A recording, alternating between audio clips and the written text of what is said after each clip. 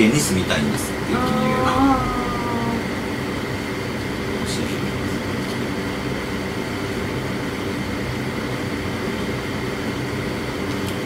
でも、えーネットとかに載ってる、えー心理的可視ありという文言や、えー告知事項ありっていうのが備考欄に書かれている物件がすごい安い値段で公示されてたりするんですけどその物件はかなりの確率で、えー存在しないということが多いです。ー存在しないってもう実は貸し出していない。あおとり物件という。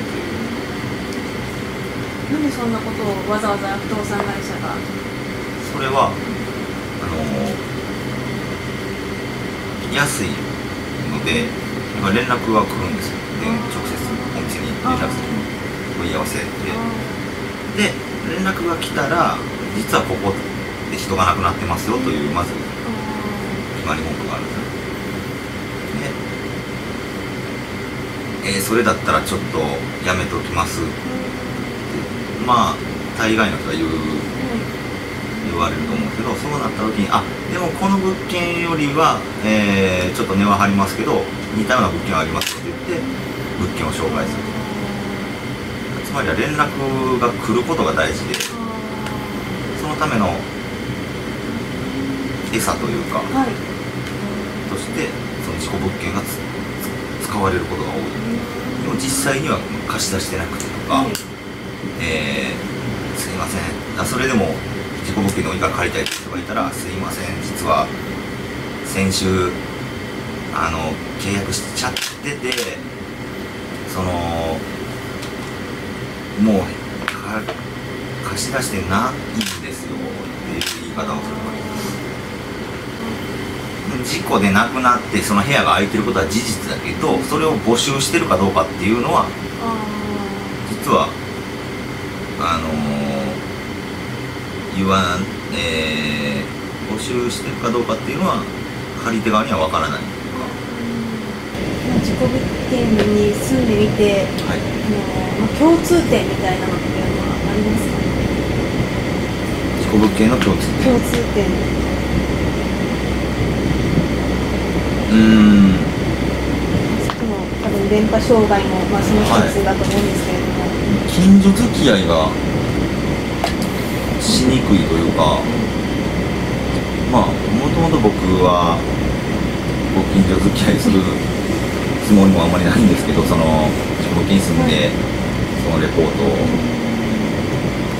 あの喋るっていうことをやってるんで何かでもなんだろう。周りの住人の方がたちがあんまり触れたくないというような空気感はあるなという気がしますやっぱりちょっと近所の人はきっと知ってるからそうですね。どんな人が住んでるんだろう次はとか。あそういう壁は感じますね確かに。ああんまり話しかけてきたりとかはしない話しかけてこないですね。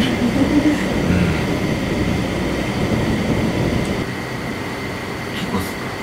そうですね。最初の1ヶ月が何かが起こりやすいような気はします。住んでみて。まあ、もしかしたら部屋に慣れてそういう注意深くその見ていないのかもしれないですけど最初の1ヶ月ってやっぱり。いやでも細かいことで言えば初日からあるんですよ。そのカメラがじいじい言ってるとかはい亡くなった方の部屋。でだけカメラにノイズが入るとか、はい。亡くなった方の部屋にこれで僕は寝てたんで、はい、ああと初めて入るときになんかこう平行感覚がおかしくなるっていうのはすごいあるあると言いーますかあこの部屋は大丈夫なんでこの部屋はなんかクラクラするなとかも何軒かの家でそういう経験はあったありますね。ねはい。2軒目3軒目4軒目はそうです。ね今のあ今今の物件ですか、わあもうほとんどまあエレベーターで住人の方と遭遇するぐらいですけどその隣の部屋がえっ、ー、と違うですね。隣の部屋が僕は見たことないんですけどこの同居人が廊下でおばあさんの声がするとで隣にはおばあさんが住んでいるらしい。で、えー、なんか廊下でなんかずっと喋ってるんですよねおばあさん。が昼前に。誰と喋ってるんだろうって一回ちょっと玄関開けたら誰もいなかったおばあさんだけはいた。んでえあじゃあ独り言なのか独り言なのか誰が喋ってるのか。でも実際その隣の部屋になんか5人ぐらいは誰か外国の方ですかねが入っていったのを見たことがある。あ谷さんが見られたんですいやあ同居人がはい。あでその時もあのーよく誰か入っていくのは見るんですけど出ていくのを見たことがない。僕は今大阪とこの東京で行ったり来たりするんですよ。どっちも自己物件借りて。はい。でまあ僕の留守の間というか、まあ、ずっと同居人が同じ松竹芸能の芸人が、えー暮らしてるんですけど、はい三日月マンハッタン中峰っていう芸人が暮らしてるんですけど、彼はえー、なんかなんだろう、えー寝てる間に誰かが部屋に入ってくるみたいなことがありました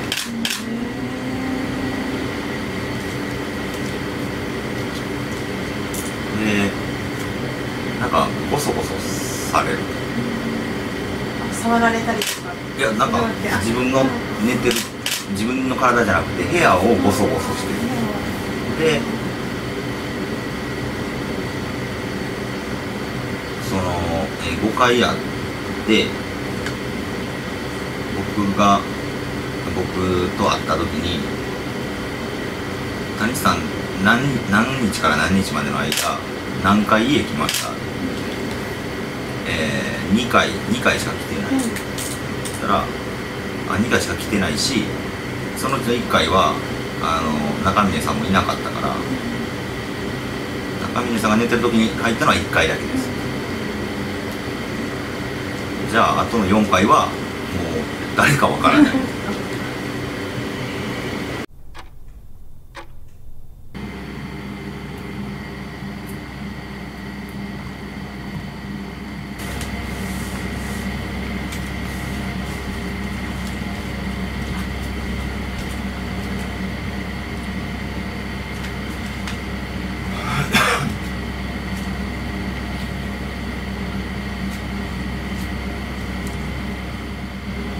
え、なになになになになに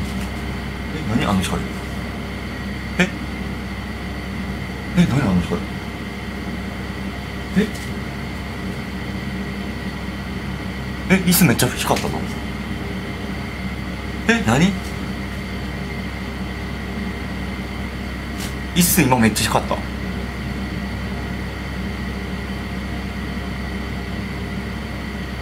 え、何や今の？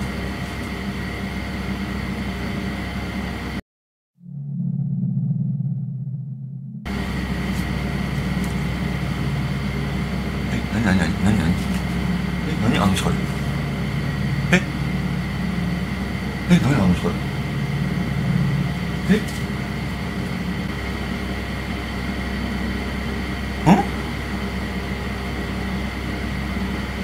え、椅子光ったよね